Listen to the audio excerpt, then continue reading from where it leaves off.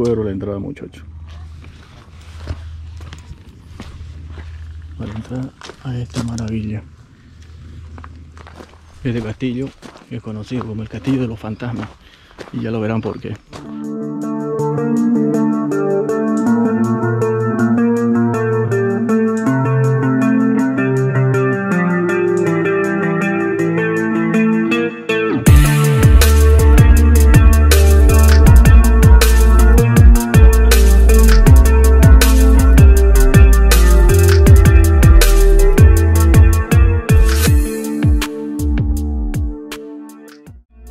Buenas mis aventureros, ¿cómo están todos? Sean bienvenidos una vez más a un nuevo video. Para aquellos que no me conocen, yo soy Chris y esto, esto es Chris Mall. Y bien mis aventureros, pónganse bien cómodos porque en esta segunda parte conoceremos bien el castillo de Besio y sus alrededores. Así que sin más preámbulo, comencemos.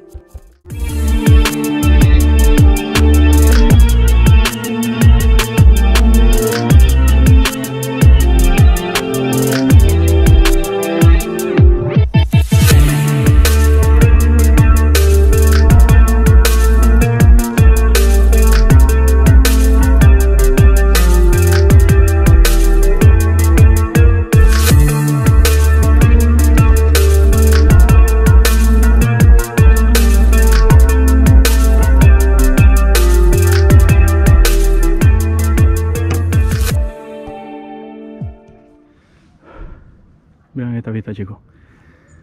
Del lago. Es una maravilla. Vean, ahí abajo está el pueblito. De ese lado dejamos el carro. Esto en verano es una maravilla realmente. Bajemos un poquito más la grada. A ver qué más allá ahí abajo ese sendero. No sabría para dónde va pero creo que cortejea todo. Ahora vamos hacia el castillo miente y después volvemos hacia el sendero. Increíble. En el centro del lago de Como, en el promontorio que domina Varena, se encuentra, durante más de mil años, el castillo de Besio, un antiguo puesto militar de origen bajo medieval, erigido para defender y controlar el lago y los pueblos circundantes, nada menos que por la reina lombarda Teodolinda. Situado en un lugar militar y comercialmente estratégico, desde él domina todo el centro del lago de Como. Por esta razón, habitando desde la edad del hierro, sobre el origen del término Besio hay varias tesis. La primera afirma que deriva del latín pagus vetus, que significa aldea o grupo de casas antiguas. Podría referirse al nombre dialectal Bes, que significa viejo. Mientras que la segunda opción afirma que desciende de la palabra Bescia, una pequeña ciudad del actual Lacio, Santa Ágata de Igoti, país de origen del legendario romano Bessiunus, quien obtuvo la dirección de las obras para la construcción del castrum de Besio. Muchos estudios atribuyen al castillo como una primera fase en esta tardo antica. y ese sería el primer fantasma ahora mi gente vamos a estar aquí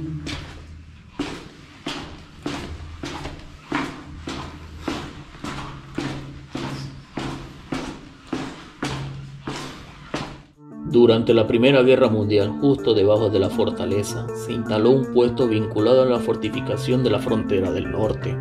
Por extensión, el sistema defensivo italiano en la frontera del norte hacia Suiza. Este sistema defensivo también es conocido como la línea de Cadorna. Es un complejo de obras de defensa permanentes colocadas para proteger el Valle del Po y sus principales polos económicos y productivos de las ciudades de Turín, Milán y Brescia. Este sistema fue diseñado y construido entre 1899 y 1918 con el propósito declarado de proteger el territorio italiano de un posible ataque desde más allá de los Alpes, llevado a cabo por Francia, Alemania, Austria, Hungría, violando la neutralidad del territorio suizo, o menos probablemente de una posible invasión del Valle del Po por la propia Confederación Suiza. Y es que este lugar se encuentra en un, lugar bien estratégico. Aquí como pueden ver, otro de los fantasmas de los cuales les hablaba.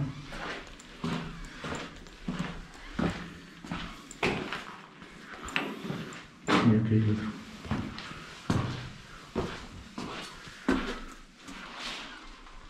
Si vienen al lugar, no olviden saludarlo. Miren esto. Increíble, cómo pudieron dañar la piedra en esa época. Ya que no tenían las maquinarias. No tenían la maquinaria necesaria como, como lo hay en hoy día. ¿no? Vean.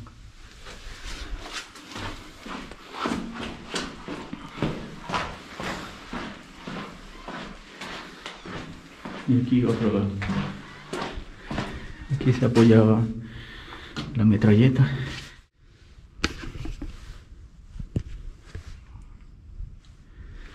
Ahí está.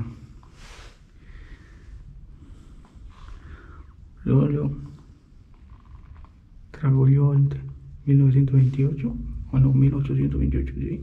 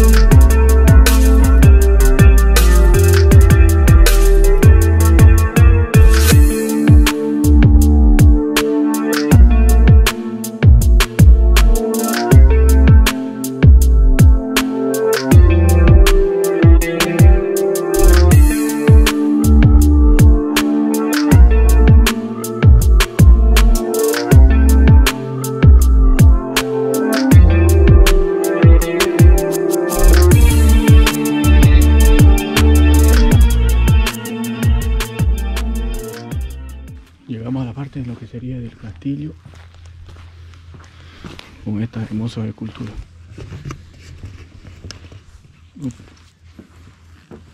No sabría si se pueden dar al pasto. Hubo un tiempo en que el castillo se conectaba mediante dos murallas al pueblo, aislando la zona por completo. Fue construido a finales del siglo XI y fue restaurado varias veces a lo largo de los siglos siguientes. En el siglo XX, en diversas excavaciones por la zona se encontraron tumbas de la Edad del Hierro, así como armas y armaduras. Y es que, dada su localización, es un lugar estratégico, tanto militar como comercialmente. Desde él, que se domina todo el centro del lago de Como, resulta lógico que fuera habitado desde edades remotas. Las antiguas murallas protegían al pueblo y a sus habitantes en las frecuentes guerras y saqueos que sacudieron el territorio a lo largo de la Edad Media. Esta sería la torre grande. Troncos. Mira. Esta sería la torre central del lugar. Vamos a ver.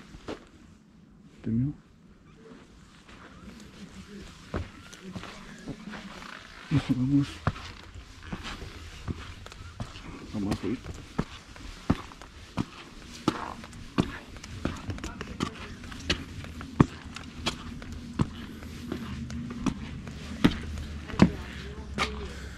por aquí.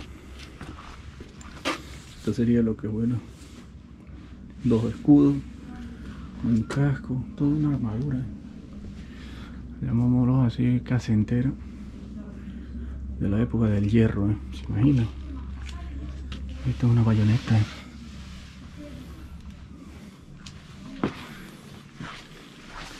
Eso es lo que queda de una hacha. Es una espada. aquí hay otra.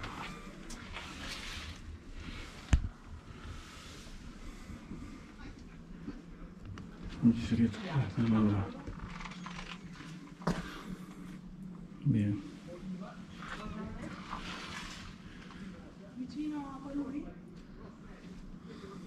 ¿Esto qué sería?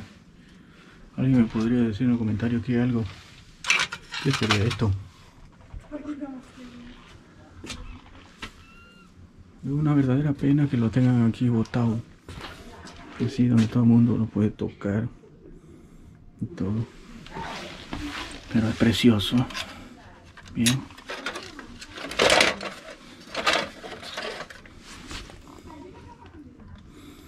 ¿Te imaginan estar con ese coso puesto encima? Está debido ya pesar. ¿no? Un, hombre de un metro ochenta por 80 kilos con toda esa armadura sería por lo menos unos 100 kilos pienso y vamos a la parte de arriba la parte de arriba chicos la primera parte. Donde aquí se ven los olivos vean esa una oliva ya negra. Acá otro guardián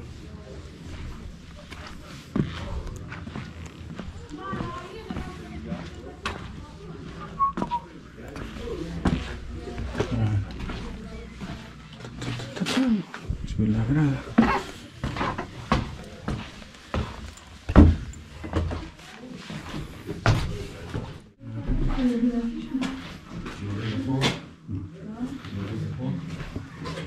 Esto sería prácticamente el coso para subir el puente en casa de invasión ¿no? a la torre. Y como lo pueden notar mi gente, mientras subía a la torre central del castillo me encontré con esta exposición dedicada nada menos que al Lariosaurus. ¡Wow! Es increíble mi gente, vean, qué hermosura. Realmente este lugar está repleto de historia. Pero bueno, les voy a contar quién era el Lariosaurus. El Larosauro era un reptil marino extinguido desde el periodo Triásico Medio que toma su nombre del lago tras su descubrimiento en la localidad de Perledo, que está muy cerca al castillo y fue descubierto nada menos que en el año de 1830. ¿Se imaginan? Es una maravilla, mi gente. ¡Wow! Vean ahí, qué hermosura.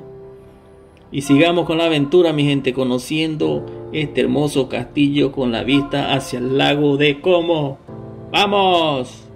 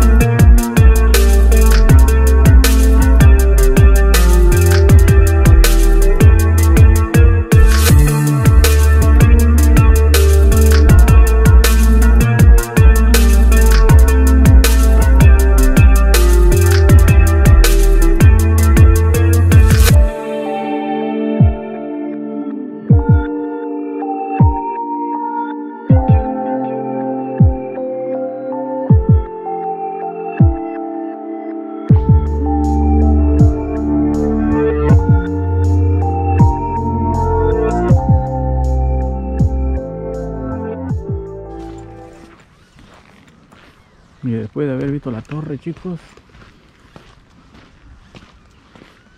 ahí está el letrero de salida Y el coso aquí, cuando recogían los olivos, los agricultores con el coso en la espalda. Así, mi gente, vamos para abajo. Vean este camino un poco complicadísimo. Madre mía. Y aquí sí que realmente no puedo entrar este porque se te tiran un buen porrazo. Miren esto.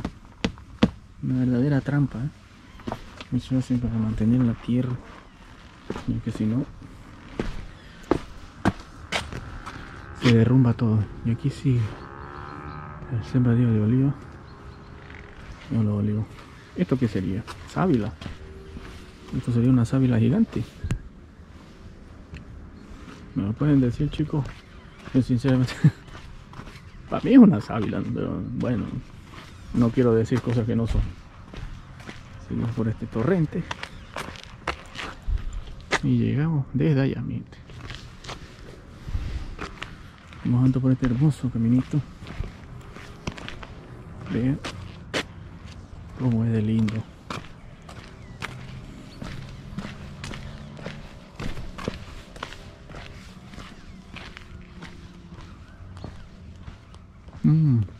Pensé que se podía subir a, esta, a este mirador del castillo, pero no se puede. Ven chicos, allá. Las plantas de olivo.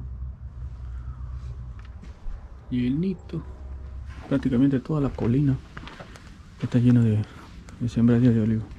Y bien mi gente bonita, como último dato curioso quería decirles que la relación entre el, el, castillo y los fantasmas se remonta a una vieja leyenda.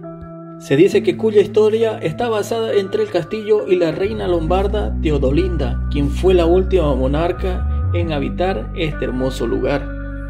Cuenta diciendo que quedó extremadamente enamorada y fascinada de este sitio, ya que después de su muerte se dice que su espíritu vaga por todo el castillo, sobre todo las noches de luna llena. Es por esta razón que para recordar cuya leyenda se pusieron varios fantasmas por todo el castillo, mi gente, y no solo. ¡Wow! Increíble historia, mi gente. Realmente un dato fascinante.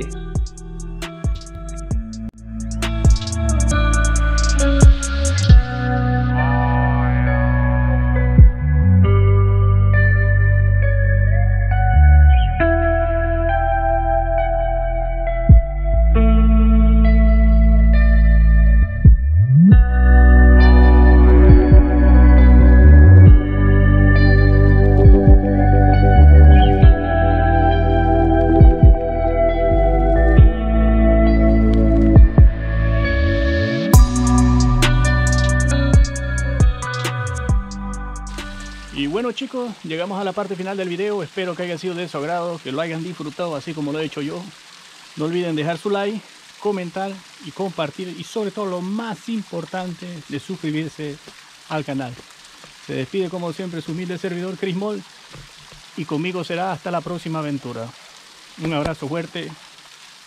Adiós mi gente.